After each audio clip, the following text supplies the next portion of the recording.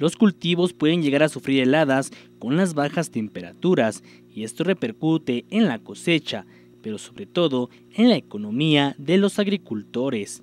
Una de las principales preocupaciones de los agricultores cuando llega el invierno y con este la temperatura desciende es que sus cultivos pueden llegar a sufrir afectaciones tanto que al extremo que pueden perder toda una cosecha completa.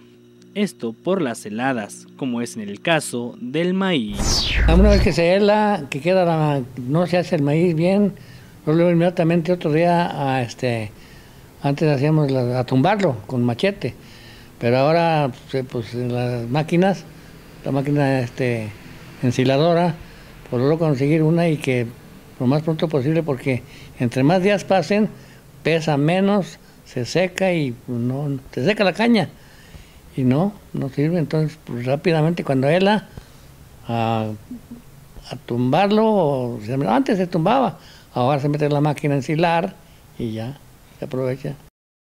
Aparte del maíz, que lamentablemente este llega a tener la pérdida completa del cultivo, también se encuentra la alfalfa, que se puede helar, pero no con la misma afectación que el maíz. Cada mes, cada mes es de cada mes cortarle.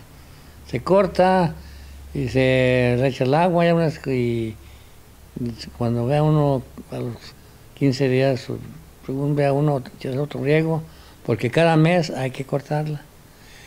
Eh, yo ya, cuando yo tenía una hectárea de alfalfa, un promedio me daba 100 pacas por hectárea, pacas de 30 kilos, que es lo normal de una paca, porque unas que empacan las dejan muy flojas y pesan 20 kilos, 25, no, no, no. Lo normal es que pesen 30 kilos en una paca de, de alfalfa.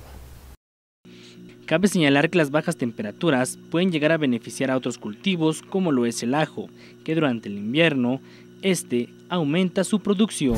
Al ajo lo favorece mucho porque si no hace mucho frío, el ajo, mm, este, ya cuando lo cosecha uno, le nombra uno que acebollado, o sea que el tallo está muy grueso y tiene poco peso y pues no, no, no, no, no da rendimiento bien. Con imágenes de Oscar Lueva nos reportó para informativo Juan Miguel Villalobos de Luna.